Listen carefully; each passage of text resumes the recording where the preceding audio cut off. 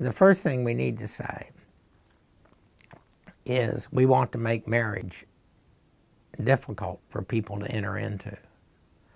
Um, the idea that you fall in love and therefore that's sufficient to get married is just uh, a deep uh, um, bedevilment that, um, as Christians, isn't um, isn't sufficient at all.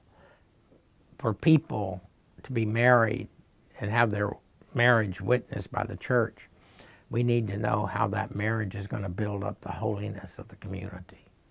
So you may not be terribly attracted to one another, but if we think,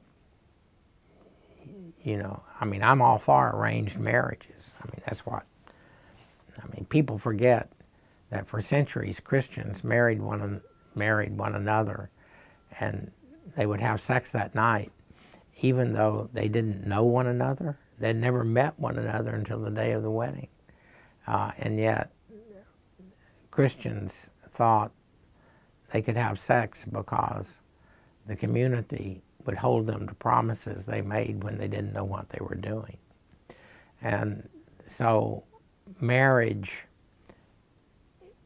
isn't determined by love, but by a sense of faithfulness to one another and the community, such that over a lifetime we're able to look back on the relationship and call it love.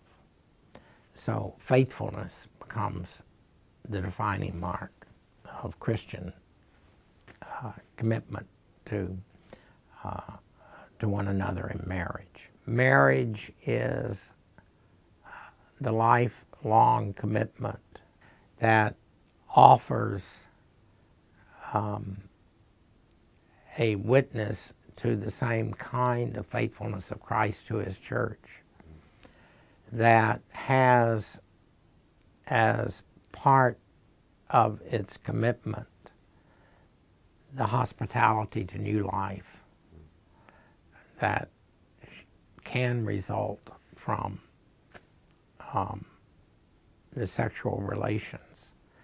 And that is the sticking point I have toward gay marriage.